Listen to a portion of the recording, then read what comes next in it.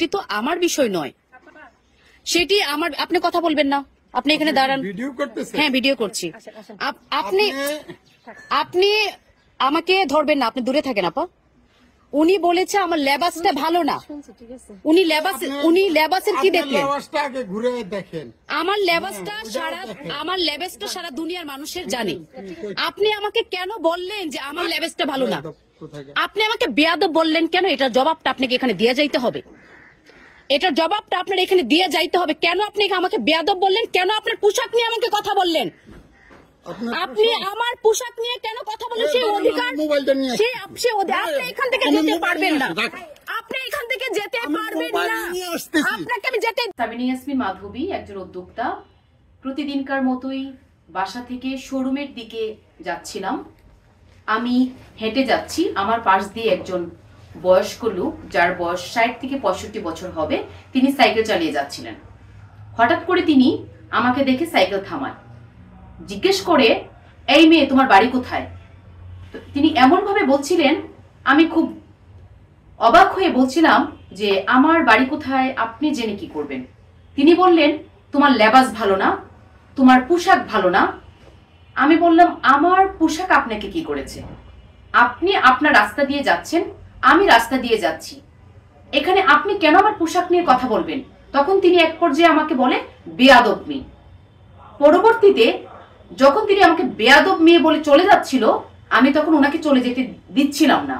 তিনি সাইকেল থেকে নেমে আমার সাথে তর্ক বিতর্ক করে, আমি ওনার সাথে মানে বিভিন্নভাবে ওনাকে মানে বলছিলাম যে, আপনি কেন আমাকে এত আজে বাজে কথা বললেন, সে অধিকার আপনাকে কে দিয়েছে? একটা নারী, একটা মেয়ে রাস্তা দিয়ে হেঁটে যাচ্ছে, তার পোশাক নিয়ে কথা বলার যে আপনি জানেন না।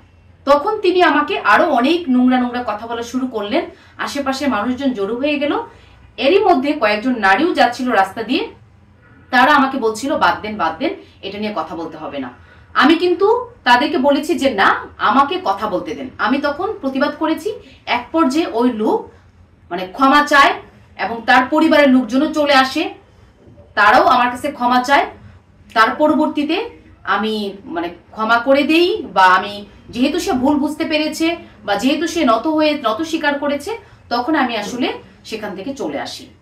তো আমি বলব যে আমাদের সমাজ ব্যবস্থা এমন একটা জায়গায় দাঁড়িয়ে দাঁড়িয়েছে যে নারীরা স্বাভাবিকভাবে জীবনযাপন, চলাফেরা করতে পারে না।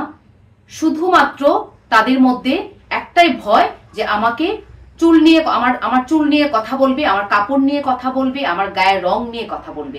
কিন্তু আমরা একজন মানুষ হিসেবে আরেকজন মানুষের এই বিষয়গুলো নিয়ে যে কথা বলতে পারি না, কথা বলা উচিত না, সেটি আসলে আমরা সেই শিক্ষাটা আমরা পাচ্ছি না।